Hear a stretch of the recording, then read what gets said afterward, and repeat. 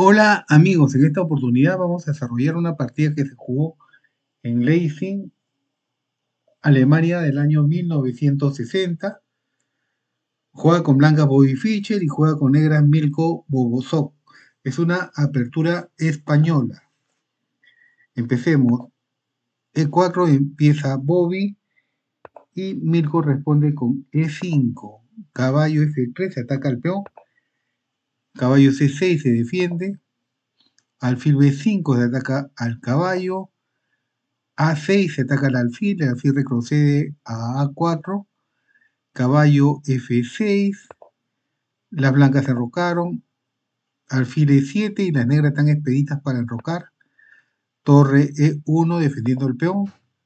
B5 se ataca al alfil. El alfil retrocede a B3 y ataca el punto F7. D6, C3, las negras enrocaron, H3 y el peón evita el salto del caballo a G4 como también que el alfil negro se coloque en, en G4 y clave al caballo. Alfil E6 invitando al cambio de alfiles. D4, alfil por alfil, peón por alfil peón por peón, peón por peón, D5, E5 se ataca al caballo, el caballo salta a E4, caballo C3 invita al cambio de caballos, F5 y las blancas toman peón por peón al paso, alfil por peón, caballo por caballo, peón por caballo y se ataca al caballo blanco, torre por peón, dama D5 atacando a la torre, la torre se coloca en G4, H5 se ataca a la torre y la torre se coloca en F4. Caballo B4, alfil E3,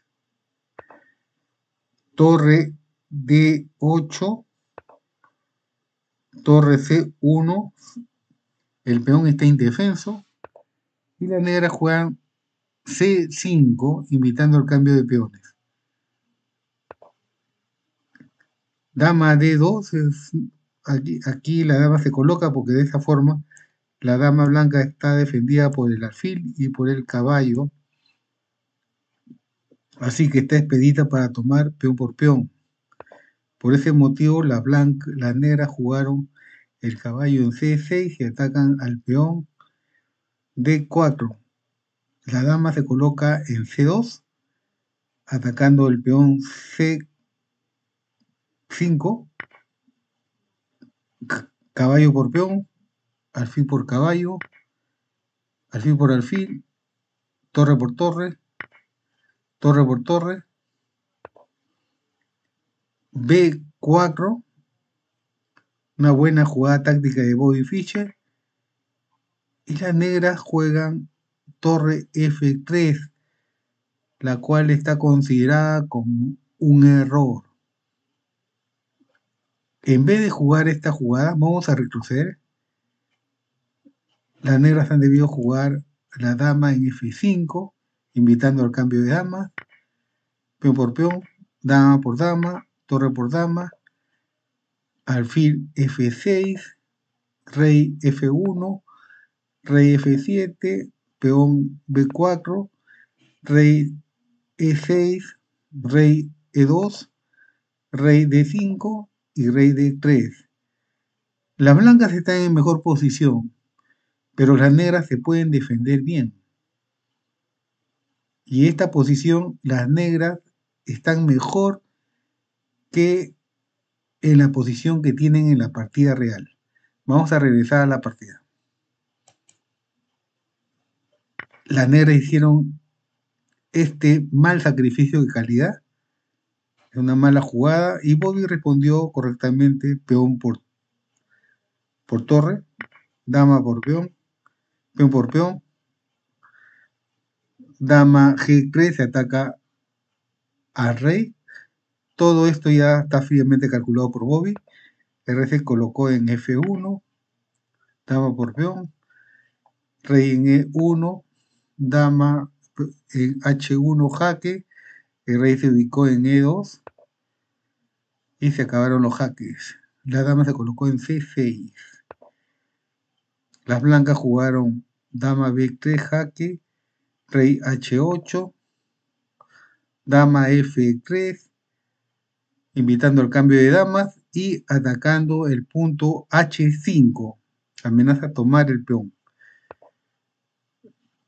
Las negras no, no hicieron intercambio de damas, jugaron la dama en E6, jaque, el rey se colocó en F1, la dama se colocó en H6 atacando a la torre y a la vez está defendiendo su peón H5 y las blancas tranquilamente jugaron la dama en D1 y con esta última jugada el jugador de las negras Milko Boboksok le estrechó la mano a Bobby Fischer y le manifestó que abandonaba.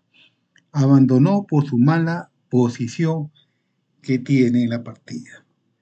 Ahora, amigos, vamos a analizar qué jugadas más podrían haber, haberse realizado o haber realizado las negras. Aquí, alfil por peón. Y las blancas contestaban, contestarían la torre en C2, atacando al alfil. El alfil retrocedería, retrocede a E5. La torre en E2 se ataca al alfil. La dama se coloca en G5, defendiendo a su alfil. El peón se avanza a C6, alfil H2 con la intención de colocar la dama en G1 y dar jaque mate. Las negras amenazan mate. La blanca jugarían la torre en E8, jaque, rey H7 única, dama D3 jaque y las negras jugarían la dama en G6, las blancas torre H8 jaque, rey por torre, dama por dama, y obviamente en esta posición las blancas ganan sí o sí por la amplia ventaja material que tienen. Bueno amigos, hizo bien el jugador Milko de haber abandonado. Amigos, les agradezco mucho que me hayan acompañado en, en el desarrollo de esta partida. Suscríbanse y será hasta otra oportunidad. Gracias.